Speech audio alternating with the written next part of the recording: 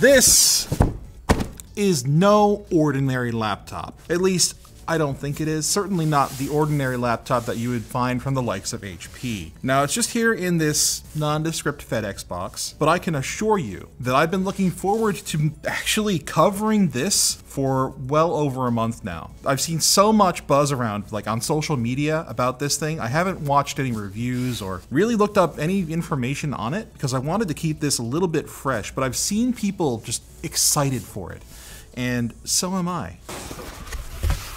Ah, uh, yeah. If you've ever seen anything by System 76, you will immediately recognize this. This is a launch keyboard, actually. It's along with a HP mouse, the HP 935 Creator Wireless Mouse. Okay, I've never used one of these. I'm not sure if it's any good, but I do know the launch is pretty good. This is a configurable keyboard. You can configure it from basically the key switches, the key caps, and the firmware completely 100% configurable. It comes with, I think, QMK by default. I'm not 100% sure on that off the top of my head, but I think it's QMK compatible. I know this is what I'm supposed to be looking at, but like it came with all this other stuff. So let's get the HP mouse out of here. The box isn't super heavy, so I'm not sure if that's an indicator of quality in lightness or an indicator of lack of quality in lightness.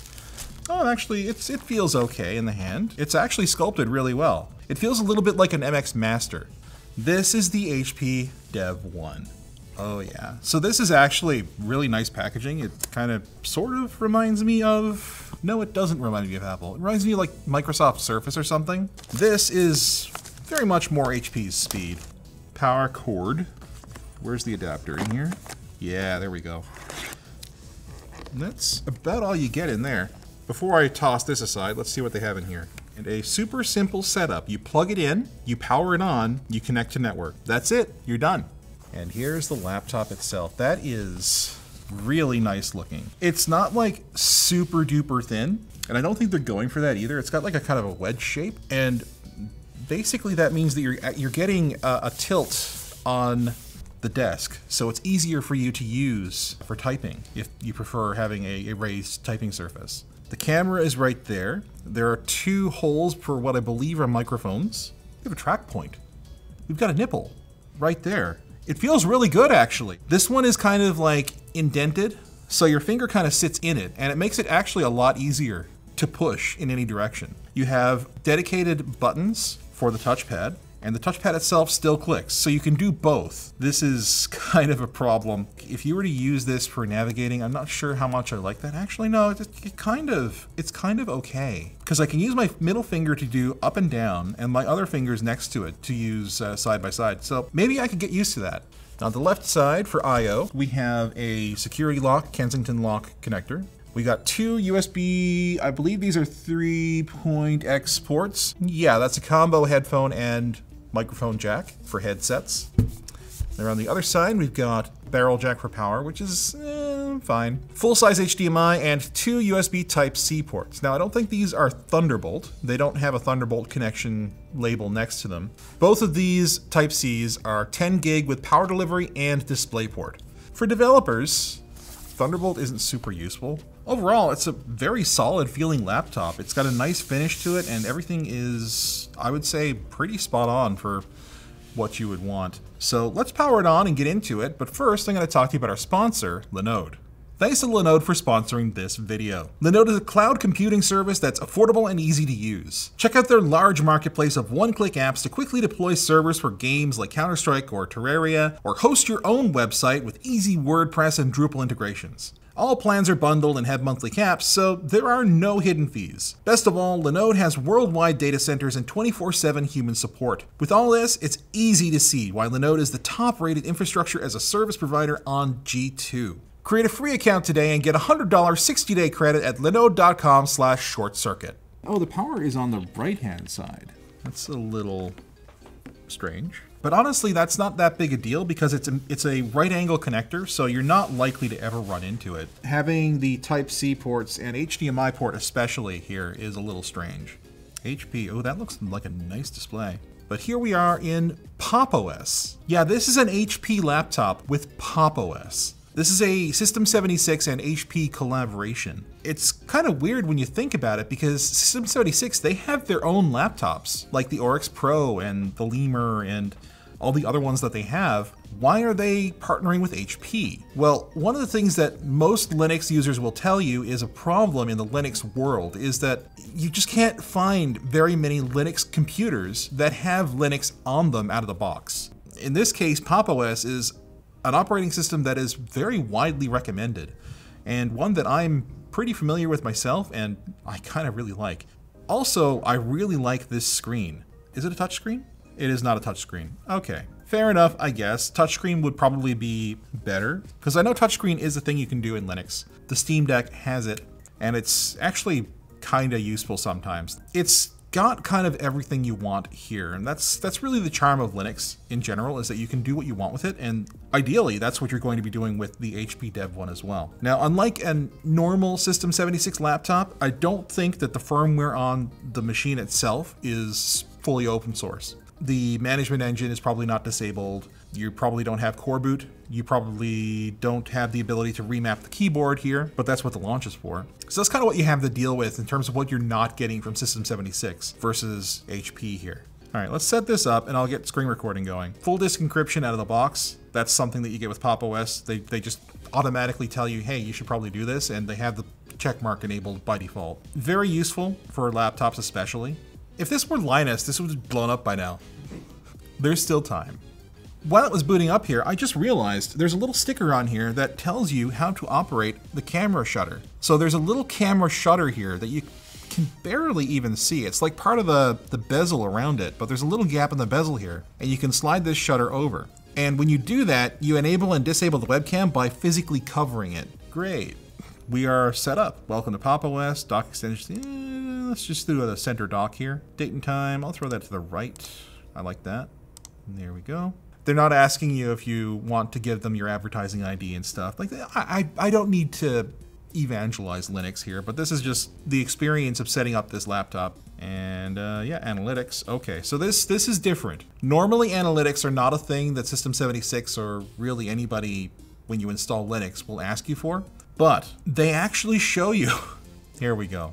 They tell you what data they're sending. They're they're showing you how it's formatted here. They're going to get your screen height, width, the type of port that it's in, okay, the Linux kernel revision. So basically hardware information about your computer as well as the software environment. It doesn't look like it's super identifiable, so it's not like sending your usernames and passwords and stuff to HP. Like you can tell what exactly is being sent to them, which I understand that this level of granularity is a little bit more than most people are willing to look at. But for a developer laptop, this is exactly what you want to show them. Analytics can also be things like how often do you use certain features? They can tell what features they should actually continue to implement and iterate on versus, you know, just kind of fumbling around in the dark and not really knowing. There we go. We're in Pop! OS. Let's go ahead and hit it with some Crab Rave. Also, the keyboard feels perfectly fine. The track point, I just realized I haven't touched but it also feels perfectly fine. I feel like I have a pretty good degree of control. It's not as fine control as the touchpad is, but it's faster control. And again, the keyboard seems fine. The stabilization on the keys seems pretty spot on.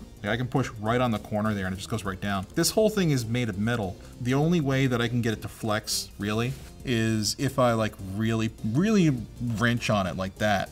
Like under normal circumstances, you're not gonna get any flex. Oh, that's an interesting sound effect. I feel like it has some kind of spatial effect tuning for the speakers because I, I, I heard that from like way over here. Spatially, it, it sounds very full. Very wide, I mean.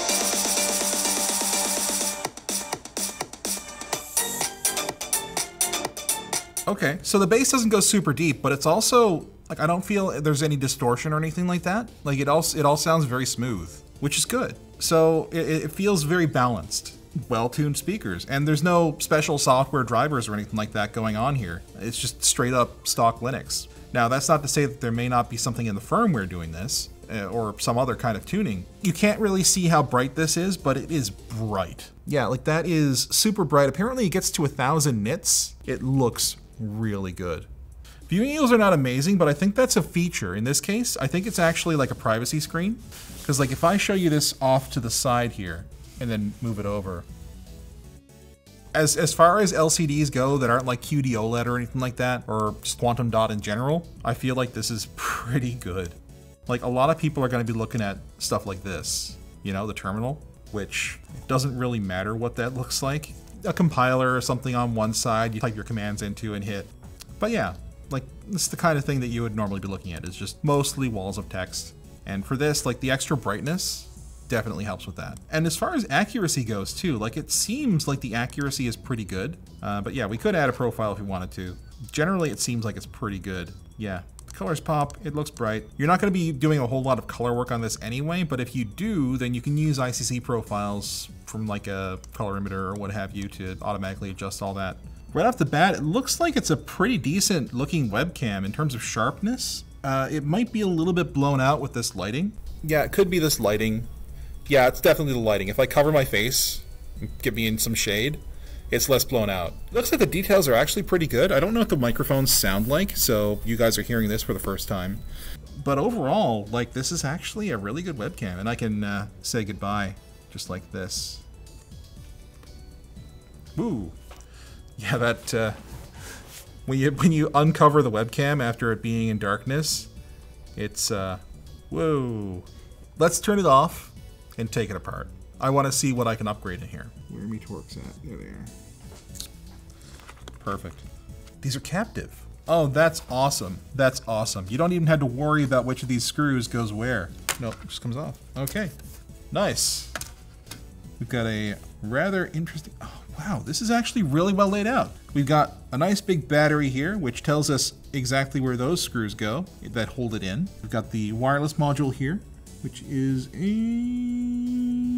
uh, they got a HP sticker on it, so I don't know. Can I pull this out? Yeah, I can. There we go. Nice. We have two SODIMM slots, and they are both occupied. We've got 16 gigs of RAM here. The CPU is a Ryzen Pro 5850U. That's an 8-core, 16-thread processor with a 4.4 gigahertz max boost. And we have a 1 terabyte NVMe module, which I presume is under here. These shields have handy little pull tabs that I can just pull it up like that. Check that out. And there it is. It's a full-size regular NVMe port. Oh, I love it. It's so good. And then the cooler is right here. You can probably just pull this off after getting these screws out. Yeah, this is very serviceable. These ports on the side are on their own PCBs, it looks like. Even the power jack is on its own. It's not on a PCB. It's actually there with a wire coming off of it. Thank you. So often, those power jacks come off the board. That's why USB Type-C charging has kind of been a godsend. But if you're gonna do a barrel jack, do it like this. Have it anchored into the chassis and then have a wire coming off of it. That way you can't fatigue it out of place. Oh, this is this is good. This speaks to me.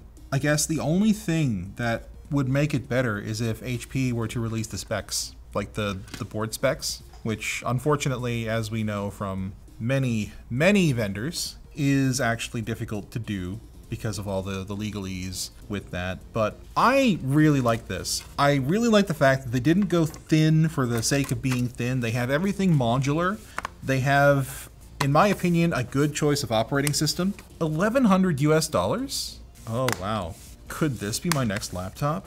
Okay, so it probably doesn't come with the launch keyboard, which is like $200 or so on its own. For $1,100, like what Apple's selling for $1,100? And yeah, it's thinner, and yeah, it's got M2 or whatever. Man, this is so much more versatile, in my opinion. It's it's almost not even a contest. I've got a Linux desktop at home, and I feel like this would uh, would pair really nice with it. With it, the Steam Deck is already pairing very nicely with my Linux desktop. So I don't know. Oh, I forgot to put this back in.